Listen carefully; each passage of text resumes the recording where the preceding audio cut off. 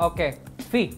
Kalau misalnya lu kan tadi gue udah tau lah background lu as a designer, as a content creator, dan masih banyak lagi. Tapi lu pernah juga uh, uh, menang salah satu um, apa Oh, ya? te- oh, di outfit ya kalau iya nggak ya, di apa? USS ya? Gua nggak tahu USS atau- Iya benar-benar di Iya. USS. Iya ya. Eh, uh itu seru. itu coba coba itu itu kenapa sih lu bisa kayak gitu soalnya gini soalnya gini rata-rata eh, yang gue tahu outfit yang lo pakai tuh mungkin ya mungkin 65% itu lo bikin sendiri gitu Iya.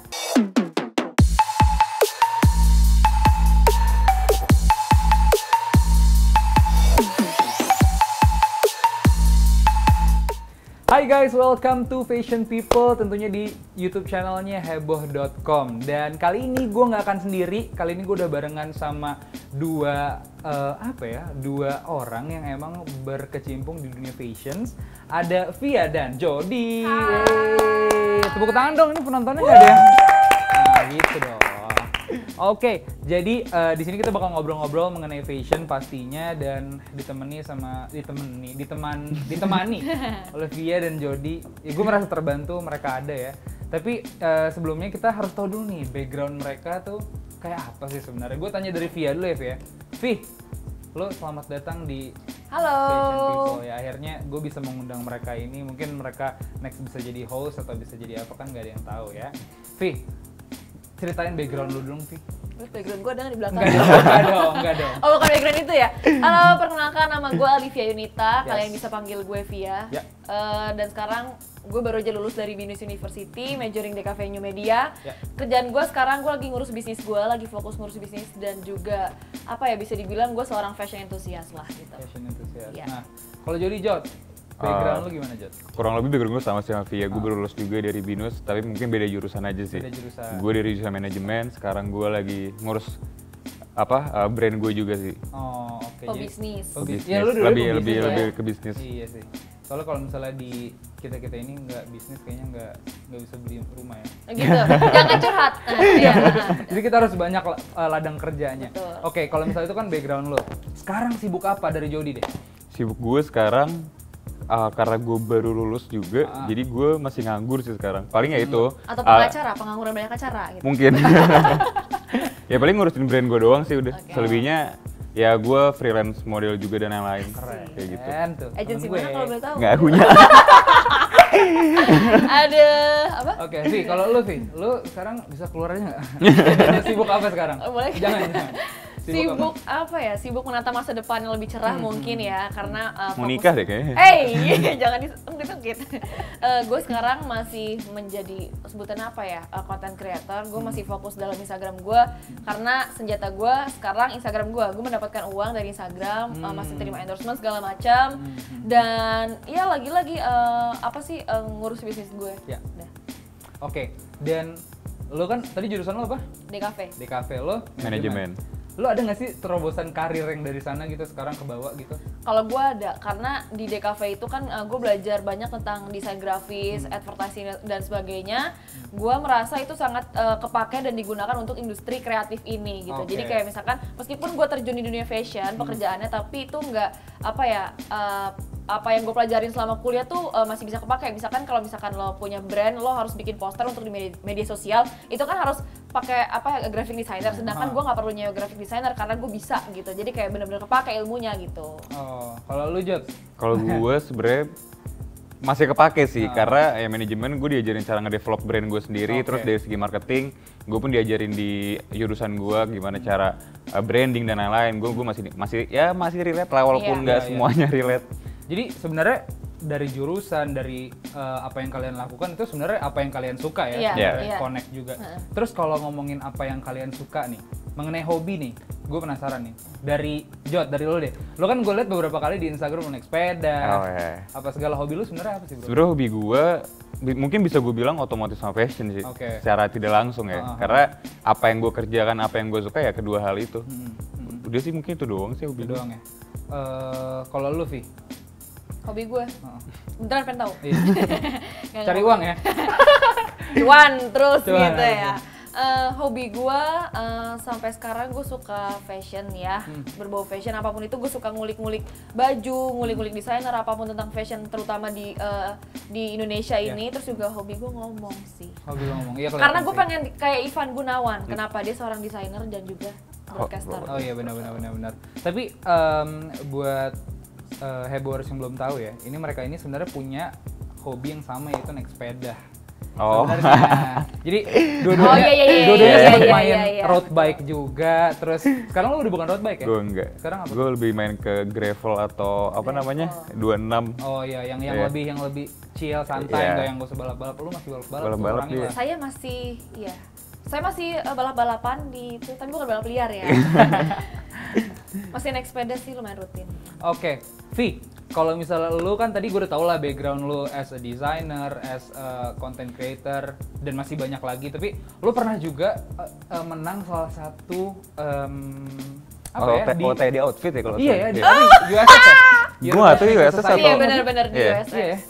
Eh, uh itu seru. Itu coba coba itu itu kenapa sih lu bisa kayak gitu soalnya gini soalnya gini rata-rata eh, yang gue tahu outfit yang lo pakai tuh mungkin ya mungkin 65% itu lo bikin sendiri gitu Iya. jadi kayak ya emang genuine aja taste-nya taste lu terus kayak lu bisa nggak sih ceritain nih kenapa lu bisa jadi tertarik ke OTD atau lu di invite atau lu kenapa bisa lu menang dan sebagainya Boleh sebut merek nggak sih? silakan Oke. silakan kita bebas mau nyebut orang tua juga apa-apa Nyebutin Orang tua teman boleh. Jangan, SMP banget. Oke, jadi waktu itu tuh gue iseng-iseng, pokoknya setiap ada OTD competition, gue selalu ikut karena gue pede juga. Hmm. Gue pede bisa menang, bisa menang bisa kalah, tapi 70% kemungkinan gue bisa menang. Hmm. Kenapa? Karena gue nge-build uh, personal branding gue tuh cukup kuat. Jadi Oke. uh, ke- uh, waktu itu gue ikut itu tahun berapa ya 2019 kalau nggak salah iseng-iseng nih ikut terus gue ikat uh, lihat posan uh, tekan posannya di Instagram USS terus wah anjir bagus-bagus banget nih. Gue gue jadi minder gitu kan kayak pada branded semua sedangkan gue nggak ada yang branded sama sekali gitu kan. Tapi uh, gue masuk lima besar. Uh, jadi kan ada cewek dan cowok. Mm-mm. untuk yang kategori cewek gue masuk lima besar dan uh, diundang di uh, di tra- acara USS di last day-nya. Oke. Di mana waktu itu? Di Asta ya? no. Bukan bukan sebelum Asta Pacific Place. Pacific Place, nah, abis itu jurinya tuh kalau nggak salah Martin Praja sama Amelie Bunjamin. Mm-mm. Gue shock banget ternyata gue menang. Sedangkan lawan-lawan gue tuh yang kayak pakai off white, Air Ah. Jordan yang hype hype abis lah. gue nggak mengatakan Kenapa itu ketawa? Gue gue gue nggak kenapa kenapa kenapa ketawa ya? kenapa Nah, Nggak usah keren aja sih bisa mengalahkan brand itu. kenapa ya? gue kayak gue bisa menang ya. Ternyata emang kata jurinya gue memiliki apa ya ciri khas yang cukup kuat. Karena kan gue suka main layering suka main apa ya eh, technical work juga kadang dulu kan. Jadi kayak eh, bisa menang tuh gue kayak merasa wah berarti emang lo pakai baju tuh nggak mesti branded nggak mesti mahal. Nah. yang penting lo bisa mix and match eh, baju lo ya, dengan tepat gitu, gitu berarti sih. berarti tampil keren juga nggak harus trendy enggak juga ya enggak, lah. enggak harus gitu. Kalau lu Jot, lu eh, berkali-kali gue lihat di explore Instagram tiba-tiba keluar nih kan sponsor. Wah, gila temen gue. ledom Iya, ya. Iya, model kan. Terus kenapa lu bisa masuk ke dunia itu sebelumnya? Sebenarnya awalnya adalah karena gue pernah kerja di salah satu toko retailer di Panglima Polim. Oke. Orbis kalau tahu. Orbis. Dari situ ya gue kenal sama apa ya eh, owner-owner brand lah Oke, gitu. Terus oke. ya pertama kali gue foto adalah gue tuh iseng doang, gue iseng, iseng butakin rambut, Hmm. gue bersihin muka gue kayak nggak ada jenggot nggak ada kumis. Tiba-tiba gue besoknya kerja dan di situ Edo owner dari El House nawarin gue tuh foto El House. Gitu aja gitu sesimpel doang. itu. Dan kayak lo gitu nggak tahu doang. bakal kayak digituin tuh nggak tahu. nggak tahu ya udah. enggak, itu tuh hemat budget aja. Iya. oh, ada ada anak yang magang iya. ditarik deh jadi model gitu. Terus ya udah ya makanya berawal dari situ, habis itu baru gue foto, foto buat brand-brand lain dan ya ada brand komersial juga lah di luar Iya, iya. brand fashion juga beberapa kali. Keren sih karena eh, buat Heward yang nggak tahu, mereka ini sebenarnya dari dulu gue kuliah bareng sama mereka, ya mereka emang em, ya dari 100 ya, 100 mungkin mereka termasuk 10 yang emang memperhatikan memperhatikan hal-hal seperti itu gitu. Kayak eh, notabene nggak banyak, cuman kayak mereka salah satunya makanya pas gue lihat ya nggak heran sih jadi fashion designer, jadi model dan ngerti di bidang fashion ya gue nggak heran akan itu.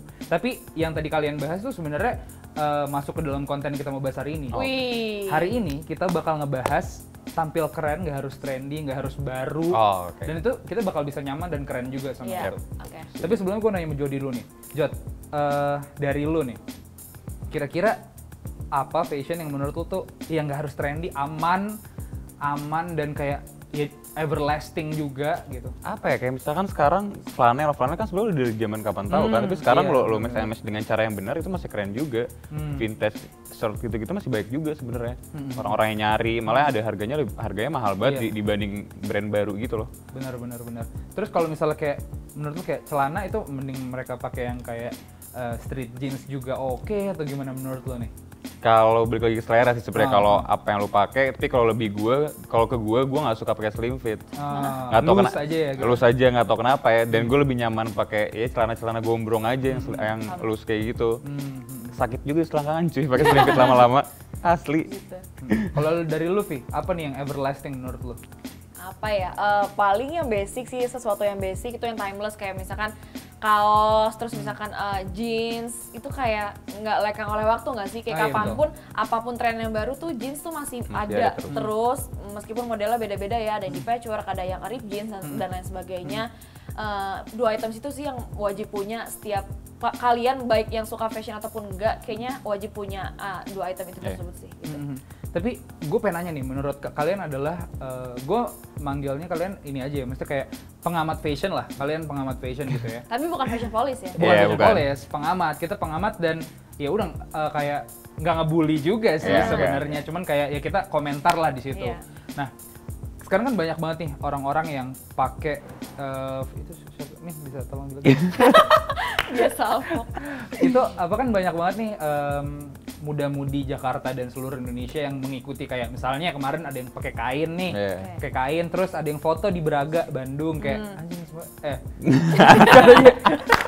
Eh, terus semuanya semuanya semuanya pakai kain kayak kayak semua pakai kain tapi kayak pas ada yang nanya lo tau gak sih sebenarnya makna pakai kain tuh apa nggak ada yang tahu gitu menurut lo bagi lo berdua nih penting nggak lo mengetahui background dari uh, Apa outfit kita tersebut pakai. iya apa yang lo pakai gitu dari lo Eh bisa bagus bisa enggak? Karena kenapa ya kak? Ya poin plusnya lo tahu eh, apa background di balik outfit yang lo pakai. Hmm. Kalaupun enggak juga nggak apa-apa gitu loh. Emang ketika lo jalan ketemu orang outfit lo keren. Coba jelasin desainnya apa? Kan nggak Iya, mungkin kayak bener gitu. juga, ya kan juga. maksud gua kayak eh, akan lebih bagus lo tahu historinya tapi kalaupun lo nggak tahu nggak masalah asalkan itu fit sama style lo sih Iya, gitu. betul. Kalau dari lu Jod? balik lagi eh, karena kayak ada plus minusnya juga gitu loh berkata Via kayak di saat lo jalan misalnya lo jalan di MRT Hmm. lo bagus outfit lo gue gak akan nanya lo dong kayak eh coba dong jelasin backgroundnya paling gue cuma bisa Iya. muji lo dong kayak eh Ah. uh, fit lo bagus kayak gitu cocok dong sama badan lo dan warna Iya. kulit lo misalkan Ah, gitu ah, ah. nggak perlu yang kayak misalnya lo pakai brand apa sih coba coba jelasin dong brand Iya. itu apa Nggak mungkin gitu Nggak juga mungkin ya. Gitu. beda halnya kalau emang lo suka mengamati uh, fashion dan lo uh, suka dengan uh, history di balik Iya, fashion itu Tapi kan ada beberapa orang-orang yang agak-agak recet nih ya. Kayak Iya. misalkan lo ngapain pakai item A tapi lo nggak tahu sejarahnya. Betul. Nah, Dan- menurut gue kayak terserah dia nggak sih duit-duit Yes. dia menurut gitu. gue nggak penting juga sih Iya. sebenarnya Dan jadi sebenarnya kenapa gue nanya kayak gitu karena ya di Instagram ramenya itu karena kayak lo pakai kain lo tau nggak artinya apa terus kayak menurut gue wow kayak ini terlalu menurut gue lo terlalu intimate Iya. banget nih Iya. kayak jadi kalau misalnya orang mau pakai selagi dia suka dia nggak nyolong tuh barang ya terserah Iya. aja gitu itu juga Lo tanya ke kita, lo ngapain kuliah di binus? Coba jelasin sejarah di binus kan nggak mungkin kayak iya gitu. nggak mungkin karena emang kita Nah, fitnya di iya, sana karena emang nggak gitu. keterima PTN Betul. Iya. Gak mesti juga kita harus tahu history itu terus Iya. kan gitu. itu sebenarnya nah em, setelah ini gue bakal ada beberapa foto kita tampilkan dulu. Wih, mantap. Wih. Nah, ini Adrian Halif. Eh, gak usah dibaca captionnya ya. Gue ininya doang. Nah, eh, menurut kalian dari penampilan Adrian Halif di sini, em, menurut gue ini salah satu yang everlasting karena dia pakai Jaket jeans. jeans juga jaket jeans, Hmm. terus kayak pakai kaos biasa aja. Menurut lo gimana nih? Kalau menurut gue celananya agak ngatung sih. iya setuju lagi Eh, terlalu ngatung Akan lebih bagus kalau lebih panjang dikit. Oke. Uh-uh. Terus? Dan kalau misalkan pakai uh, graphic tees juga jangan terlalu apa ya numpuk di depan ngeblok. gitu. Uh. Hmm. Gitu sih paling dari gue. Tapi untuk untuk fit si Air jeans kayak eh, apa eh, Jaket. jaket jeansnya kayak Oke oke. Uh, cocok sama badan dia kan agak gede ya. Iya, jadi iya, uh, betul. kalau untuk oversize kayak masih bagus-bagus aja. Kalau lu Jot ada Jot sama. gue suka ini sih kayak dia kayak sepatu kaos kaki sama baju diselaraskan warnanya masih biar nggak terlalu banyak color yang dimainin terus jaket jeansnya juga oke ya itu sih paling celana doang terlalu ngatung Iya. coba agak diitin dikit menurut gue lebih oke atau atau nggak di atau nggak digulung mungkin lebih oke Hmm, kayak gitu oke, sih Oke oke. Nah tapi nggak cuma satu kita ada lagi. Set. Iya Ah, betul. Band Xiaombing. Nice fit band katanya Stanley. Ini gimana nih? Cuman eh, yang gue lihat dari sini sebenarnya ini kan bajunya agak ngatung ya. Yap. Tapi emang dia tuh tipikal gitu Iya. ternyata. dan Iya. itu dan itu Iya. dipotong Iya, tahu iya, dipotong. Dia tuh kayak Oslo Ibrahim. Ah. Iya Ah, modelannya ah, jadi maksud gue kayak kalau orang awam nih kayak lo ngapain sih cowok pakai baju kayak gitu kayak cewek gitu kan tapi ya emang stylenya dia kayak gitu gitu loh dia mungkin eh, persona dia seperti itu dan ya gue ngeliat sih oke oke aja gitu nggak ada yang salah di outfit ini kayaknya cocok sama personality di- dia gitu Oke oke. Jadi dari lo aman nih. Maksudnya ada ada kayak aman lo aman yang harus di. fit fitnya aman Oke. Heeh. Dan udah. Udah sih. Dari lo Jot aman Jot. aman sih gue selalu suka sama apa outfit dia nggak tahu kenapa Oke. kayak lo nyeleneh tapi yang nggak masalah Iya, gitu masih- loh masih keren Heeh, gitu. heeh. Oke. untung Eh, celananya masih normal gitu. iya benar. Oke, hold on. Sebelum ke next, gue pengen ngasih tahu ternyata eh outfit yang abis ini gue bakal kasih tahu adalah outfit yang kayaknya nih hampir banyak buat yang pakai. Percaya Oh, ya? apa itu Apa? Nih, coba ya. Kita lihat ya. Tring. Oh. Iya nggak sih kayak kalau datang ke misalnya pensi atau apa ya. Iya. Ini ya kayak basic benar-benar outfit sih hmm, sama nih gitu. Iya. kayak gitu ya. Iya, iya, Namanya iya, iya, Serindarwat Siapa ya? Ya Ser. Serindarwati kita kayaknya sebut saja Seri Iya. Ini dari outfitcost.id. eh bajunya pakai common goods, unbranded sama unbranded lagi. Terus ya banyak sih yang pakai kayak gini. Cuman dari lo ada nggak sih kayak eh apa gitu? Ralat masukan Iya kayak evaluasi masukan. Nggak evaluasi juga kayak Oke, menurut oke. lo kayaknya eh, match and matchnya kayak gimana dan sebagainya. Nih menurut gue nih gaya yang sangat aman yang bisa dipakai dan ditiru oleh semua orang. Betul. Memang. Betul. Cuma eh, kalau gue memposisikan diri gue sebagai hijabers, gue nggak mungkin pakai kaos. Gue Oke. better pakai eh, apa long Outer sleeve mungkin. Iya, iya, atau iya. outer. Heeh. Eh, jeansnya gue suka, sepatunya gue juga suka, eh, nggak eh, too much color. Iya, tapi balik lagi kalau misalkan gue sebagai hijab, gue mungkin akan pakai outer atau jaket lengan panjang yang biar dia nggak usah pakai manset lagi Hmm, gitu, hmm, hmm, gitu. Nah kalau lo Jod, ya ini sebenarnya aman banget sih kayak lu cuma main uh, monokrom dengan lu pakai celana jeans yang ya sepatunya walaupun apa ya dibilangnya kayak ya patternnya pattern sapi gitu kan tetap- tapi tetap monokrom kan yang Iya. di mana Gimana di endorse milk kita? yang di mana masih match dengan kerudung dia hitam bajunya Iya, iya. putih ya udah ini kayak ya udah aman aja lu mau ke mana pun bisa pakai outfit kayak gini Iya iya iya. Tapi cowok juga banyak yang kayak gini. Banyak. Kayak Banyak, cowok Tadi ada cewek. apa temen gue orang medsos nah kayak gini. Ini, kan? iya, boleh, boleh. Kayak gitu. Coba mas, sini dulu mas. Sebentar mas. Sini sebentar. Sini sebentar buat foto cowok nggak apa-apa. Sini sebentar. Ini orang medsos gue. Eh, kelihatan nggak min? Kelihatan ya, ini medsos gue. Apa Dia pakai ya? fans nggak berdiri aja nggak apa-apa. Dia pakai apa jeans yang agak loose sedikit karena mungkin eh, gemukan ya dia. Jadi ya pakainya betul. Terus pakai long sleeve ini sama pakai kalau ya ya normal lah kayak gini ya. normal masih normal Ini adik lu bukan sih? Bukan. mungkin lebih ke sifat gue ya Oke. Atau lu versi cewek. thank you, thank you, thank you. Jadi moral value eh, yang udah lo dapetin eh, dari sini apa sih ternyata kan eh, trendy itu nggak harus itu alarm siapa baru bangun. Eh, jadi trendy itu tuh eh trendy maksudnya kayak eh, fashion itu nggak harus ngikutin yang harus Hmm. trendy, harus Iya, keren iya, apa segala. iya. Dari Jody dan dari Via nih moral value yang bisa kalian dapetin apa sih kayak lo nggak harus pakai yang eh, baru kok lo nggak har- nggak harus pakai Hmm. apa atau gimana gitu dari Vi. Kalau saran dari gue sih ketika lo mau beli baju, lo uh, kalau bisa pilih baju atau pakaian yang uh, bisa dipakai uh, beberapa looks. Oke. Kayak misalkan bisa jadi outer, bisa jadi rompi uh, dan sebagainya karena kayak satu lo ngemat biaya, terus bisa menjadi statement piece juga uh, dan elevate your looks. Ya. Terus juga apa ya? Ya pokoknya itu outfit tuh satu outfit bisa dimain-mainin gitu. Gue sih lebih suka uh, barang-barang yang seperti itu. Jadi uh, coba investasilah dengan satu outfit yang mungkin harganya nggak murah tapi bisa kalian pakai bertahun-tahun Oke. gitu. Oke. Gitu. Dari lu Jod? Ya kalau dari gue sebenarnya lo jangan pernah takut untuk pakai apa pun karena merek atau brand apa pun bukan mencerminkan kepribadian lo kok. Sangat, Iya. sangat. Kayak gitu kan dan ya lo kalau mau keren gak harus trendy juga banyak juga barang-barang yang sekarang baik banget thrifting thrifting online Banyak. main barangnya masih Yang- keren banget yang menurut gue. bagus-bagus, Iya ah. dan itu ibaratnya lo bermerek tapi lo nggak bisa ibaratnya kalau lo beli barang itu lo harus nabung beberapa tahun ya lo cari aja di thrifting online Iya. baik banget gitu loh. Kayak gitu Kayak sih. misalkan ada outfit inspo di Pinterest gitu kan, lo Oke. pengen niru tapi kayak lo malas beli barang baru ya lo bisa aja coba uh, thrifting gitu. Thrifting. Oke. Dan itu murah, terus kayak gampang juga. Iya. Thrifting udah di mana-mana Iya, sekarang. Online juga ada banyak. Iya. Iya, online udah banyak. Oke, eh, Hebors, segitu aja ngobrolan kita di episode kali ini. Tapi tenang aja, masih ada episode selanjutnya barengan sama mereka juga. Tapi jangan lupa like. Komen. and subscribe. Nah, betul ya, di-share juga dan jangan lupa dinya, dinyalain apa? Loncengnya. ya? Notification. Nah, notificationnya jangan lupa dinyalain biar tahu nih video, eh, video yang kita update. Jadi, langsung aja gue Raffi Batok pamit. Dan gue Olivia Yunita pamit. Dan gue Dewi Nando Riza pamit. Sampai jumpa di episode selanjutnya. Bye.